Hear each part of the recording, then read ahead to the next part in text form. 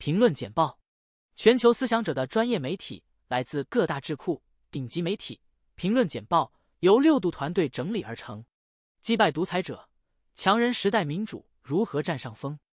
外交政策，查理斯·邓斯特在他的书《击败独裁者：强人时代民主如何占上风》中，探讨了民主国家为其公民提供服务的概念，以及他们如何做得更好。他认为，民主国家在历史上曾带来伟大的东西。但今天却做得不够。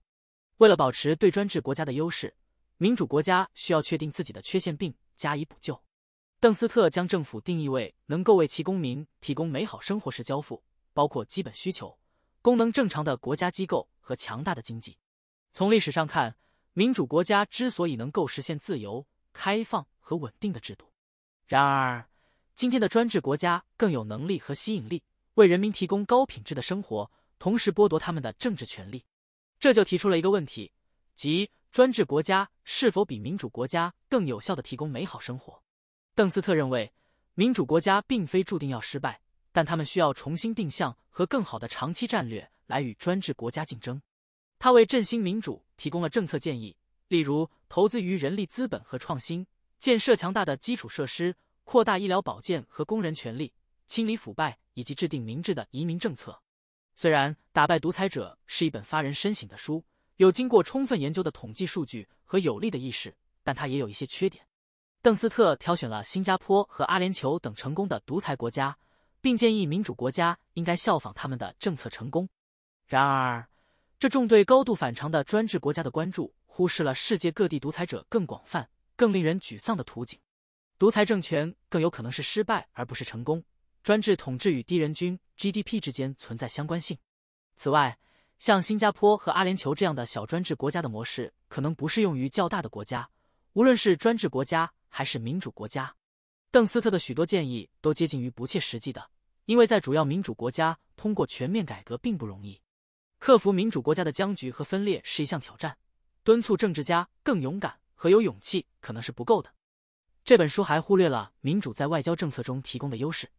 民主国家建立更大、更有效的联盟，更有可能签署和遵守国际协定，更有可能赢得战争。在民主国家与专制国家的战略竞争中，民主国家能够共同实现的目标，可能比他们在国内单独实现的目标更重要。民主国家之间的国际协调具有巨大的潜力，例如民主技术联盟和贸易伙伴关系，以对抗专制胁迫。总之。民主国家可以通过继续提供稳定的经济制度和自由来促进创新和增长，从而击败独裁者。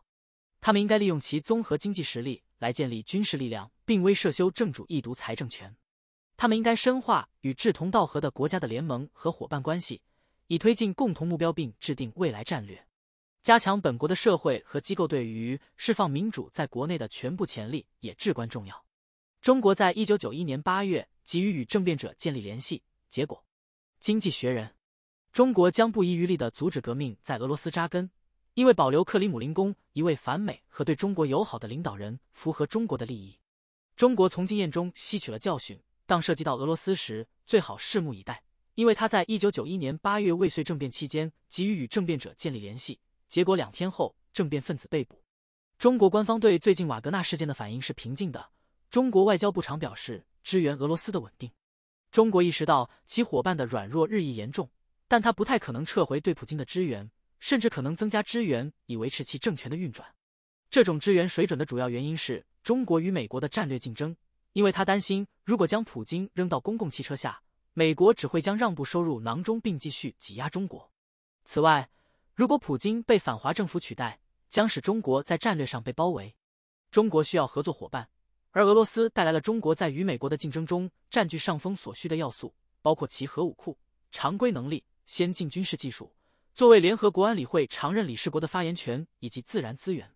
如果普京面临另一次政变企图，中国没有直接说明普京的工具，但它可以确保俄罗斯不会因经济衰退或乌克兰失败而被推到革命的边缘。中国将继续与俄罗斯进行贸易，包括让普京的战争机器保持嗡嗡作响的技术出口。并向俄罗斯出口高科技镇压工具。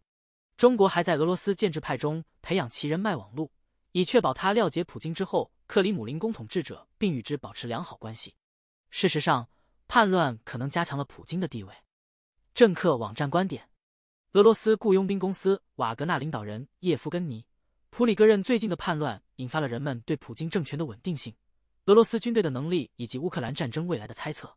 然而，普京被叛乱削弱的说法没有得到证据的支援，没有迹象表明精英成员正准备挑战或取代普京，因为没有人支援普里戈任的行动或采取行动支援他。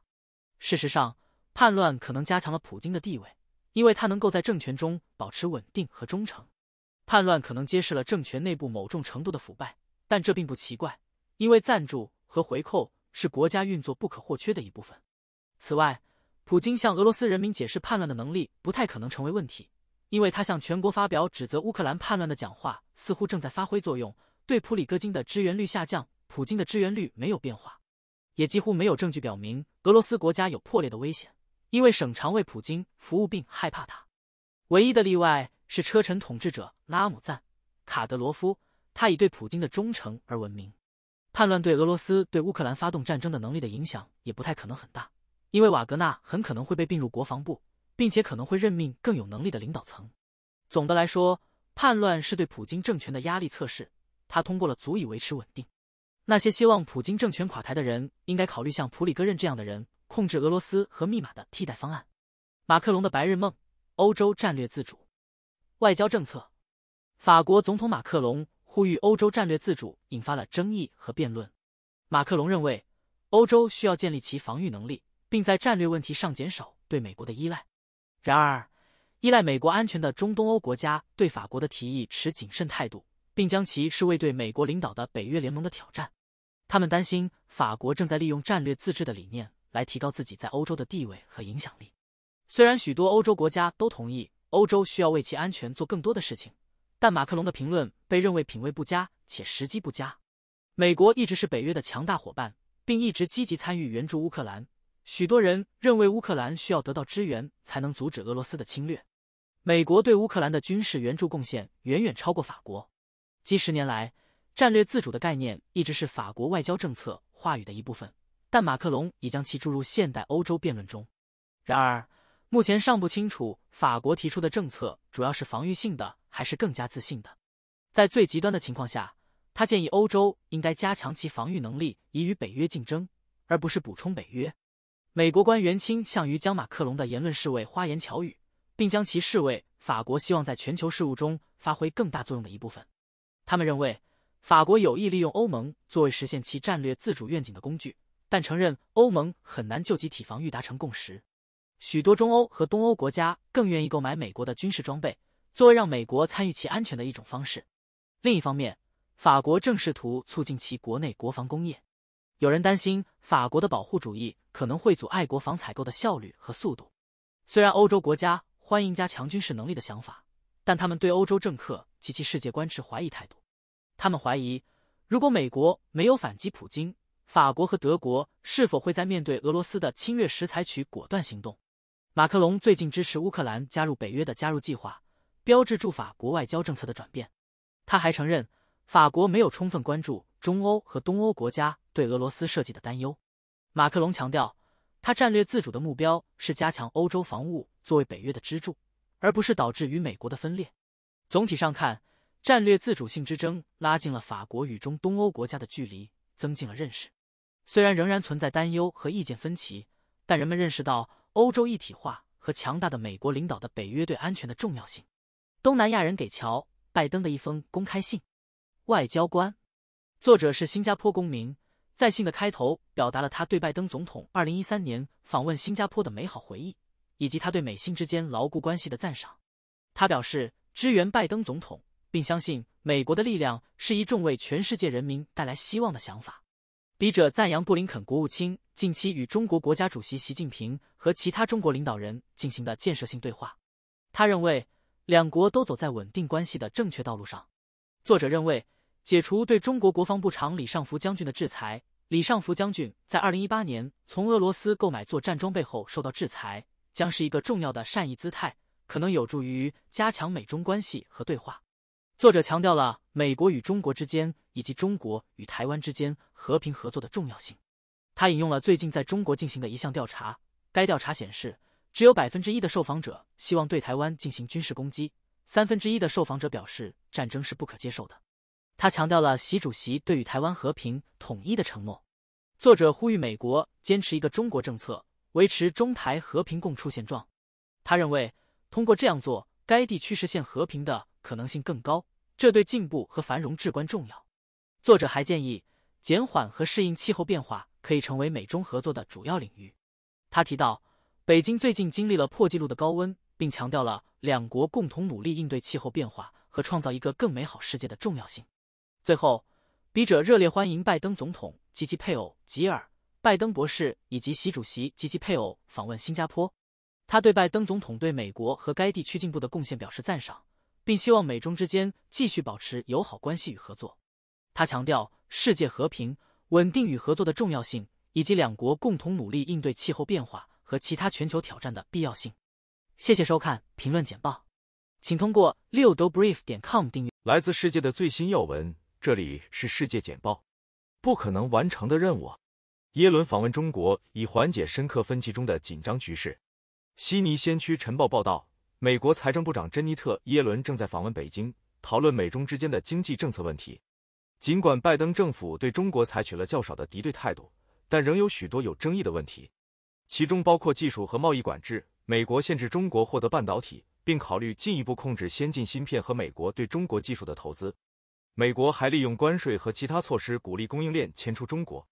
中国的商业环境正在恶化，企业担心引起政府的负面关注和国家安全法的收紧。在美国，与中国有联系的公司正面临劳工实践、客户数据使用和进口实践方面的审查。人民币的价值也是一个问题，因为人民币最近的疲软使中国出口在美国更具竞争力。最后，围绕国家安全和人权的紧张局势正在蔓延到两国之间的经济关系中。这里是世界简报。拜登在阻止本·华莱士后，推动乌苏拉·冯德莱恩成为下一任北约老板。英国《每日电讯》报道，乌尔苏拉·冯德莱恩是下一任北约秘书长的首选候选人。现任欧盟委员会主席与美国总统拜登建立了牢固的关系，据说是英国国防部长本·华莱士拒绝后美国的首选。然而，人们对冯德莱恩处理德国国防部的方式感到担忧，并对他再次当选欧盟主席表示怀疑。冯德莱恩表示，他现在或将来都无法胜任北约的工作。这里是世界简报。荷兰，中国对芯片金属的出口限制需要欧盟回应。日经亚洲报道，荷兰政府呼吁欧盟 （EU） 对中国针对半导体制造中使用的两种金属的新出口规则作出回应。中国的举动被视为对美国及其盟国对其实施的出口限制的回应。荷兰最近出台了规定，要求出口 ASML 制造的芯片制造设备获得许可证。政府表示，这些规定并不针对任何特定国家。欧盟对中国的限制表示担忧，敦促该国只实施国家安全所需的限制。荷兰政府辩称，其出口管制是国家安全问题，因此取决于个别欧盟成员国。这里是世界简报。为什么中国应该对邻国更友好？经济学人报道，中国有缺陷的外交使该国难以与十四个陆地邻国保持良好关系。中国国家主席习近平试图加强与邻国的关系，但他的努力没有按计划进行。一些邻国正在与美国更紧密的结盟，以对抗中国日益增长的自信，而另一些邻国则担心中国的意图。中国外交政策的这一弱点可能会削弱习近平挑战美国在世界领导地位的雄心。中国的邻国由于其众多的陆地和海上边界，以及具有自己区域野心的邻国的存在，因此尤其具有挑战性。中国的邻国分为三类。脆弱或失败的国家，害怕中国统治的友敌，以及与美国签订防务条约或军事合作的国家。许多邻国对中国持保留态度，因为中国在领土问题上过于强硬，强制性的经济政策和严厉的外交方式。虽然中国是邻国不可或缺的经济伙伴，但它与邻国的贸易却是不平衡的，因为它向邻国出售的比从邻国购买的要多。中国还利用其经济影响力惩罚激怒它的邻国。他的一带一路项目帮助弥补了这一点，但他们往往因过度承诺和忽视当地情绪而受到破坏。中国的邻国越来越多地表达对中国的不信任，许多国家正在向日本和美国寻求更紧密的关系和发展援助。这里是世界简报。莫迪的访问是否标志着美印蜜月的开始？没那么快。南华早报评论版报道，印度总理纳伦德拉·莫迪 （Narendra Modi） 最近对美国的访问引发了对两国关系的质疑。虽然莫迪受到了热烈欢迎，但对印度人权的担忧仍然存在。美国一直面临批评印度人权记录的压力，但拜登总统的回应强调两国作为民主国家之间的尊重，凸显了印度被西方接受和尊重的先决条件。印度作为在亚太地区遏制中国的力量的潜力，使其成为美国有吸引力的合作伙伴。但他们的关系中存在需要解决的挑战和矛盾。此外，印度的经济发展和现代化必须与其社会条件和民族特点保持一致。印度能否在与美国接触的同时保持独立并追求自己的野心，还有待观察。这里是世界简报。世界迎来有记录以来最热的一天。七月三日，全球平均气温达到十七点零一摄氏度的新高，这是自十九世纪有记录以来的最高温度。该记录是在六月被确认为有史以来最热的六月之后创下的。美国国家环境预测中心的科学家表示，这一增长是由于自然天气事件厄尔尼诺现象和人类排放二氧化碳的结合。研究人员认为，随着厄尔尼诺现象的增强，今年夏天将打破更多记录。这里是世界简报。Shine 与银行和交易所就美国 IPO 进行谈判。南华早报报道，在线快时尚零售商 Shine 正在与包括高盛。Goldman Sachs、摩根士丹利、Morgan Stanley 和摩根大通 （J.P. Morgan Chase） 在内的投资银行就潜在的美国首次公开募股 （IPO） 进行讨论。IPO 的时间尚不确定，由于美国立法者对该公司劳工行为的审查，可能无法进行。Shen 上一次估值超过六百亿美元，尚未决定其 IPO 的地点。纳斯达克和纽约证券交易所都与该公司联系，试图说服其选择自己的交易所。这里是世界简报。普京。习近平和莫迪在镜头前会面，但没有更大团结的迹象。《纽约时报》报道，俄罗斯、中国和印度领导人本周出席了上海合作组织 （SCO） 的虚拟峰会。每个领导人参加会议都有自己的目的。对于俄罗斯总统弗拉基米尔·普京来说，这是关于在瓦格纳雇佣军集团起义后投射力量，并要求国际社会支持他在乌克兰的战争。对于中国最高领导人习近平来说，这次峰会是一个批评美国的机会。呼吁结束霸权主义和强权政治。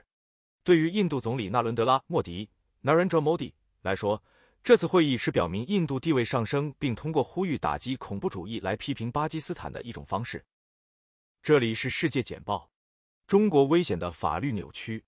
国会山报报道，中国制定对外关系法是他们为迎合自己的野心而操纵国内法和国际法的延伸。北京对国内法和国际法的态度与其民主观相同。共产主义国家的目的高于一切。中国对国际法的操纵，可以从其对台湾的处理方式以及美中台关系中看出。一九七二年的《上海公报》试图在国际法的基础上建立双边外交关系，但中国对美国在台湾地位问题上的模棱两可的立场感到不满。美国后来通过《台湾关系法》澄清了对台湾安全的承诺。中国诋毁了《台湾关系法》，特别是他对台湾军售的保证。北京在一九九五至一九九六年通过向台湾海峡发射导弹来测试美国的承诺，但陷入僵局。中国随后于二零零四年通过了反分裂国家法，以促进和平统一，但警告说，如有必要，他将采取非和平手段。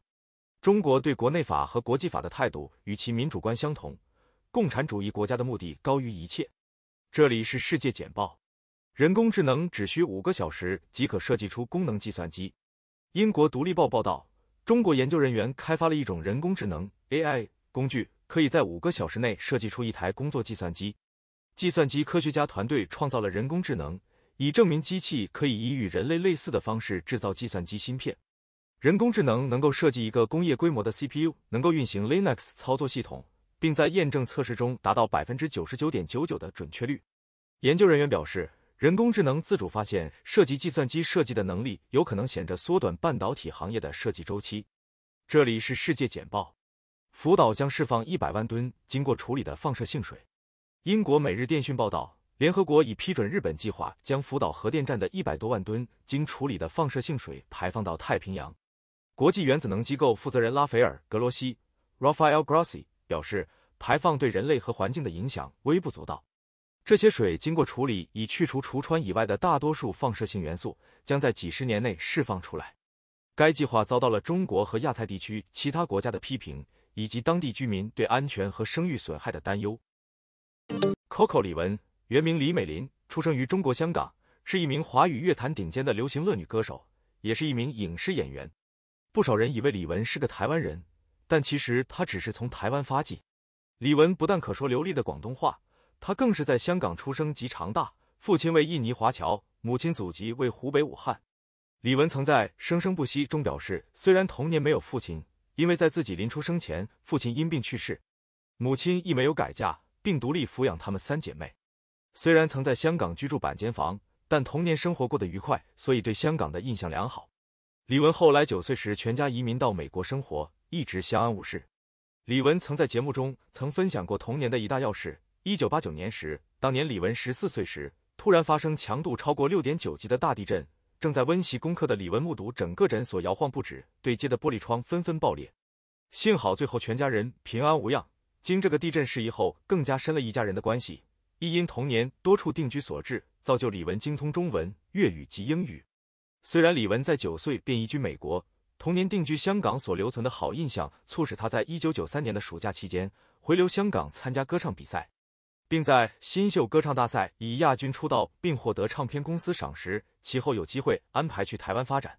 在台湾发展的时间，李玟分享到，一开始的路并不好走，因为初出道时国语不好，只好卖力搞笑，加上唱功，最后在节目《龙兄虎弟》中迅速走红。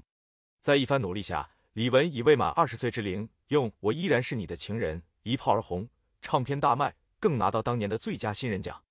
随着最佳新人奖，李玟更在一年之内出了四张个人专辑和无数合集。可惜，年轻的李文并未有因为众多唱片而过上好日子。他曾分享过，因为当年不知版税为何物，结果一直靠住低廉的车马费维持生活。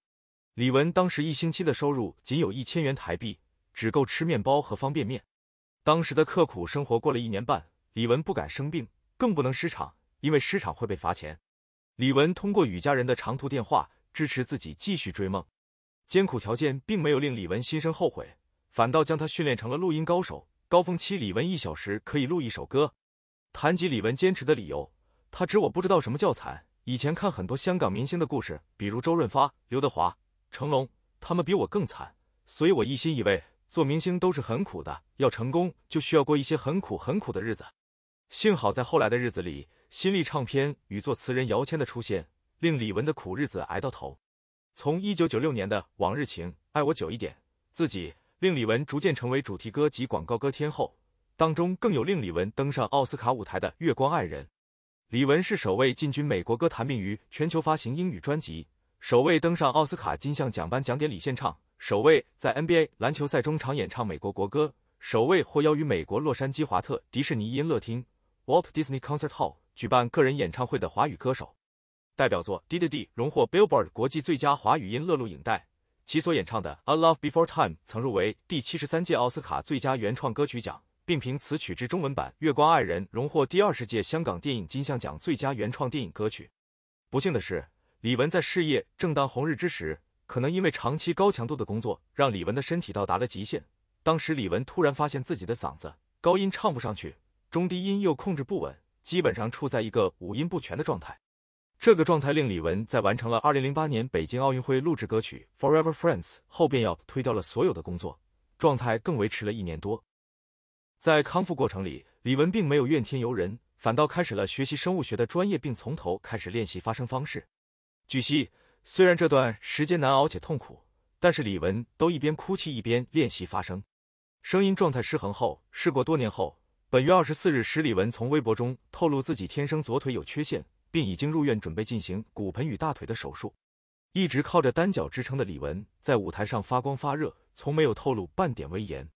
李文说自己忍受痛楚很多年了，现在已让我无法正常生活。老天爷逼我要去面对。这么多年在舞台上跳舞，其实是靠一边腿去支撑整个身体，这一切都是靠自己的意志力。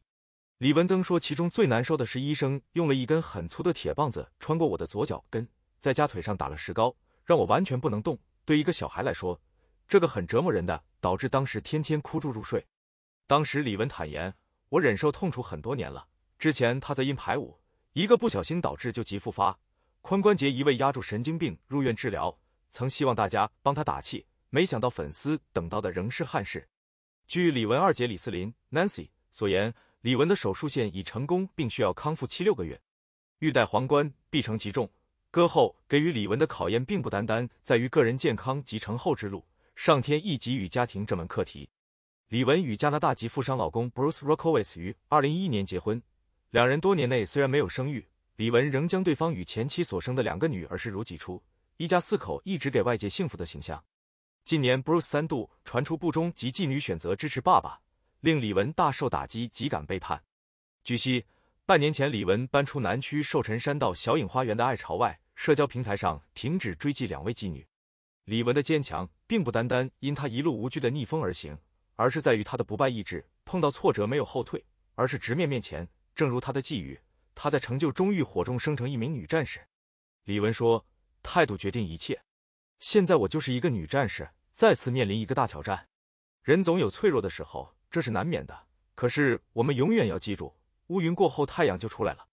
不管怎么样，我会努力一步一步往前走。我知道我一定可以的。”Coco 李玟二日送医前发了长达四十秒的语音给粉丝。亲爱的，我是 Coco，感受到大家对我的爱跟支持，你们做我的后盾，我会加油。那这段时间呢，希望你们自己也身体健康快乐。我非常想念大家，我在努力努力，想念你们，我也非常想念你们哦，爱你爱你。Thank you so much for the gifts，非常谢谢所有的礼物，Very thoughtful，非常贴心，Love you guys，爱你们。李玟二零二三年七月二日在家中轻生，送院后一直昏迷，经医院团队努力抢救及治疗，最终于七月五日去世。结束了他传奇的一生。世界简报根据各大媒体的报道整理出内容精要，让你最快速掌握全球趋势。上海俱乐部对抗北约。法国国际广播电台。中国国家主席习近平敦促上海合作组织成员国加强团结，维护地区和平与安全。上合组织是一个欧亚政治、经济和安全组织，在印度主办的虚拟会议上欢迎伊朗成为其第九个成员。该组织包括中国、俄罗斯和几个中亚国家，近年来一直在扩大其影响力。将伊朗列为正式成员引起了批评人士的担忧，他们担心俄罗斯、中国、巴基斯坦和伊朗的结盟，他们认为这些结盟本质上是反西方的。然而，上合组织秘书长张明拒绝与北约进行任何比较，并强调该组织不是一个政治或军事集团。与此同时，欧盟 （EU） 正朝着减少对美国的依赖，并在全球事务中奉行更加独立的战略。法国总统马克龙强调了欧洲团结和建立欧盟自身利益的重要性，而不是依赖美国或中国。然而，中国和欧盟之间不断扩大的差距表现在北京取消了欧盟外交政策负责人何塞普·博雷尔 （Joseph Borrell） 的访问，以及欧盟最近减少对中国关键技术和零部件依赖的战略。虽然上合组织和欧盟已经举行了高层会议，但两个集团之间合作的可能性仍不确定。一个美国政府机构如何帮助中国赢得科技竞赛？国会山报：中国成为全球技术领导者的目标可以得到由主席利诺汉 （Lina Khan） 领导的美国联邦贸易委员会 （FTC） 的行动的说明。联邦贸易委员会宣布，他将派遣官员协助欧洲实施和执行欧盟的数字市场法 （DMA）。该法旨在遏制大型科技公司的主导地位，并为欧洲科技公司提供竞争优势。然而，这最终将破坏创新并增加对中国技术的依赖。DMA 要求指定的技术看门人与竞争对手公司共用某些数据，并限制他们将收集的数据用于其他服务的能力。不遵守这些规则将导致巨额罚款。DMA 施加的合规成本可能高达五百亿美元，这些成本将转嫁给消费者。被指定为守门人的美国科技公司可能要么必须创建符合欧盟合规规则的新服务，要么完全退出欧洲数字市场。这不会使重视美国平台提供的安全性和服务的美国或欧洲消费者受益。大多数守门人都是美国公司，DMA 不会为竞争创造一个公平的竞争环境。相反，它将使中国科技公司在中国共产党的指导下主导数字市场。这符合中国的目标，即让世界依赖其技术来获得政治和经济影响力。允许中国科技公司取代美国科技公司会带来隐私和安全问题，因为中国政府可能会访问消费者数据。此外，虽然欧盟通过 DMA 针对美国科技公司，但它继续在其关键基础设施中使用中国技术，加剧了国家安全风险。通过说明其他国家破坏美国科技领导地位，汉主席正在危及美国的竞争力，并将优势交给威权主义竞争对手。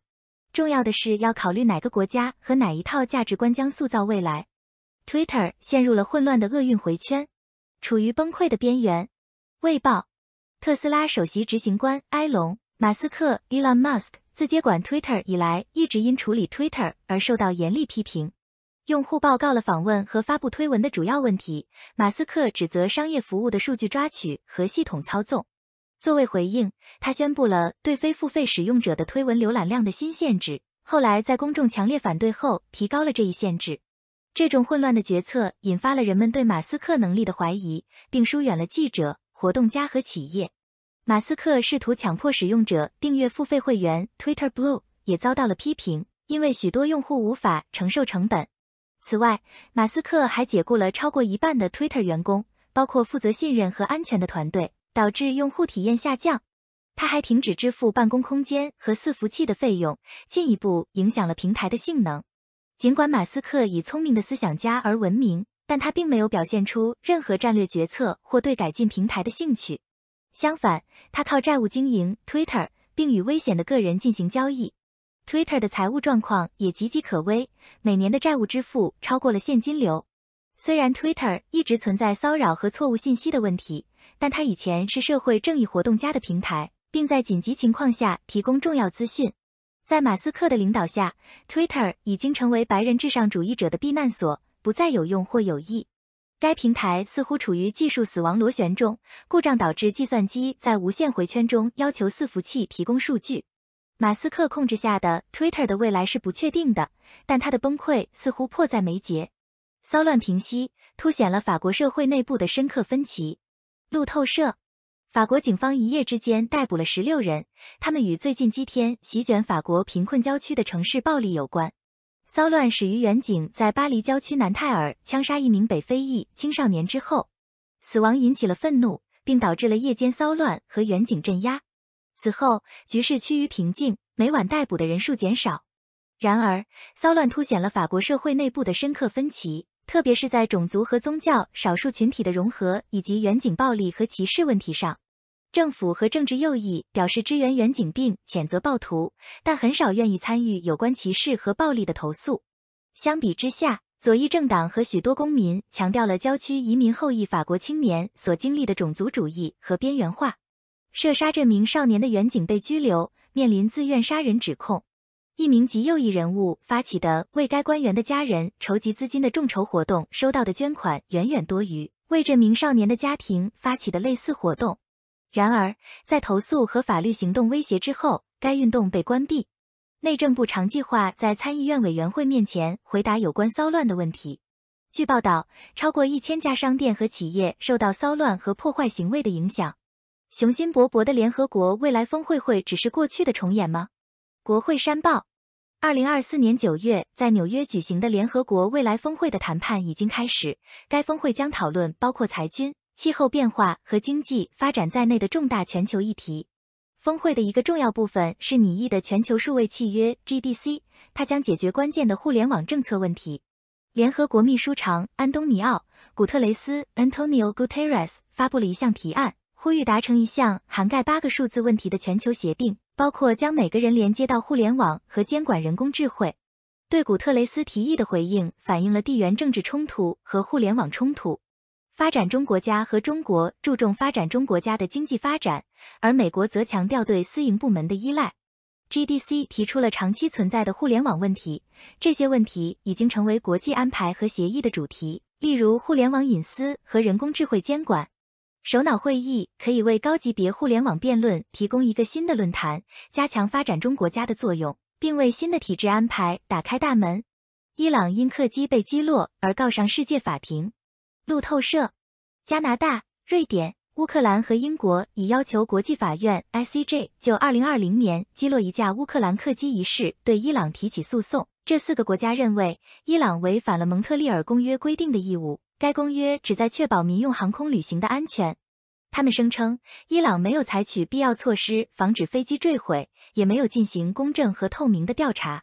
大多数受害者是参与请求的四个国家的公民。伊朗此前承认，在与美国高度紧张的时期，其部队意外击落了这架飞机。然而，有关国家认为伊朗的解释是不够的。并寻求对这一事件负责。我们为什么要研究黑洞和引力波？德国之声。根据六月发表的一项研究，科学家们正在利用黑洞引起的引力波来研究宇宙最大的秘密，包括看不见的暗物质。引力波是由宇宙中重品质的加速引起的空间涟漪，这些波几乎微不足道，只用中子的大小拉伸和挤压人。然而，科学家可以使用复杂的设备来检测它们。引力波是由恒星、超新星和恒星或黑洞的双星系统的不对称爆炸产生的。该研究使用脉冲星技术来检测波，并发现了百万分之一秒的差异，证明料波的存在。引力波可以提供有关暗物质的资讯，暗物质包括宇宙的大部分。暗物质不发光或电磁辐射，因此难以研究。美国镭射干涉引力天文台 （LIGO） 在二零一五年探测到高频引力波。世界简报来自世界各大媒体的精要内容，让你享受总统简报般的特权，迅速掌握全球趋势。